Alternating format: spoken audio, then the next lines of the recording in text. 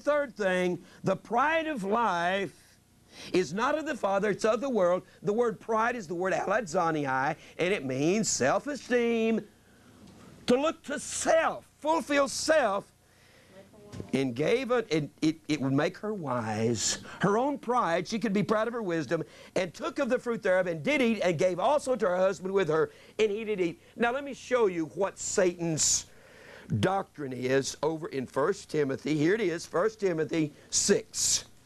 Here's Satan's doctrine. He legalizes all that is in the world and he appeals to the flesh and he says smooth words and says, after all, God knows that you need the things of this life. Let me tell you, God knows, God knows what our needs are. But when a man starts making excuses, God don't mind if you have this and this, and God knows that you need that over there. When a man starts saying that, he's making excuses for legalizing everything that's in Satan's boundary line or Satan's mark. That's that little sin, isn't it? Yeah, yeah. now look here. He says, he's talking about teaching a doctrine. What have we been talking about? A boundary line, a marker. And he's talking, and it inside that boundary line is a law or a doctrine. The word, the word doctrine is the word didaskalia, and it means instruction. Well, the instruction of God is His law. Here is the mark. Here's what's inside Satan's mark, and here is what you'll find that the message of Satan is. He will tell you that God knows you need this and this and this, and after all, you're only human. And they're very smooth words. Here it is. He speaks of the doctrine of God not being blasphemed in 1 Timothy 6 and 1. Then he says in 1 Timothy 6 and 3, he says, If any man teach otherwise and consent not to wholesome words, and that word wholesome is the word hugiaino, and it means uncorrupt. Uncorrupted words. Don't mix your opinions with God's truth, even the words of our Lord Jesus Christ, and to the doctrine which is according to godliness. The word godliness is the word eusebomai. It means the gospel scheme, the resurrection of Christ in us. And when Paul said, or when, uh, when Paul said that godliness is profitable, the word profitable is the word ophelimos, and it means to heap up. That's the treasure and the true riches is Christ in you, the hope of glory, Colossians 1.27. Then look, look what he says. The man who preaches any other doctrine, any other law, any other boundary line, what if I said boundary line? Even the words of our Lord Jesus Christ and to the doctrine which is according to godliness. He is proud. The word proud is the word tufao. Means to be blinded with a smoky haze. He's blind. Knowing nothing but doting about questions and strifes of words.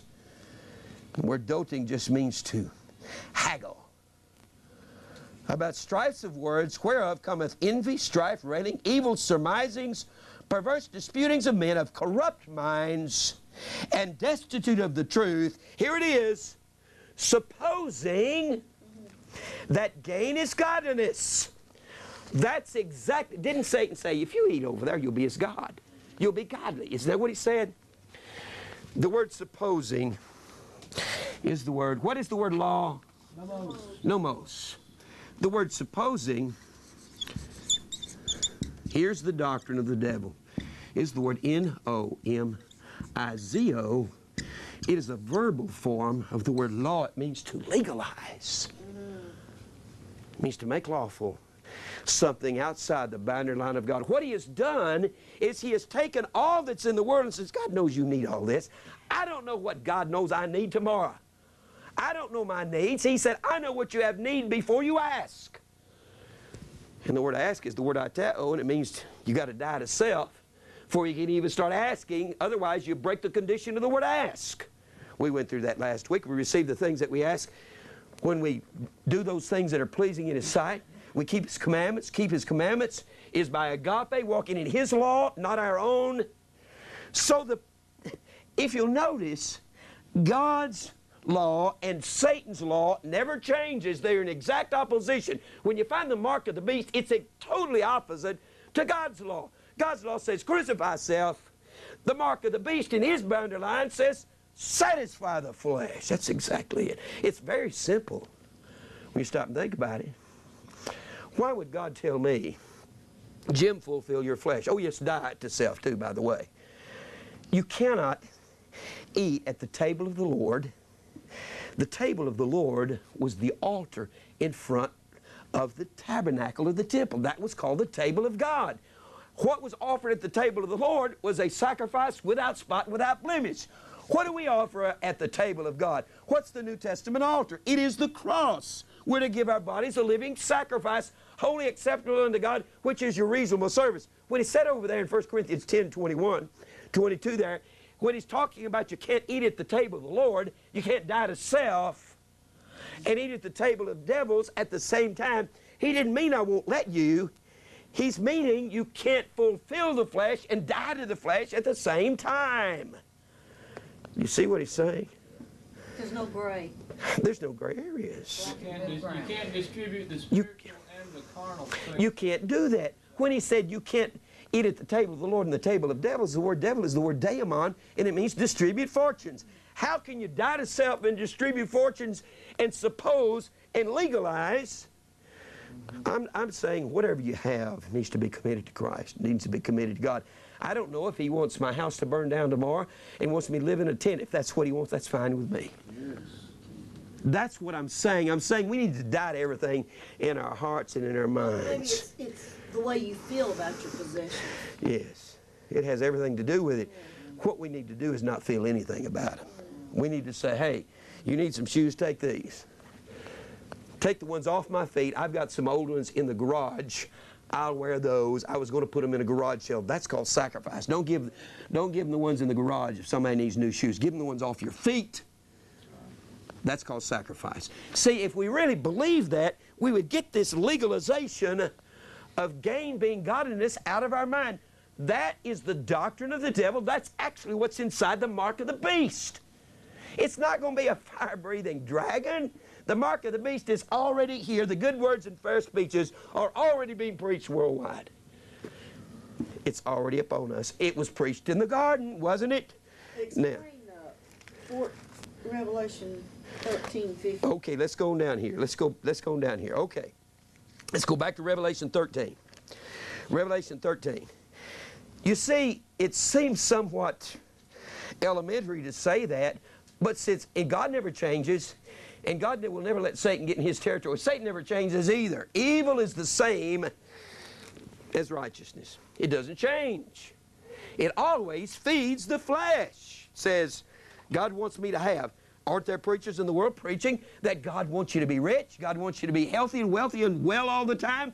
That's, if I told my mother this, she's, well, I got a brother on the Big Charismatic Network, Dean Brown, and she said, Jimmy, Dean said if he hadn't have found this doctrine, he would have never found Christ. I said, Mama, Dean didn't find Jesus. He found the devil's doctrine. She thought I was being mad.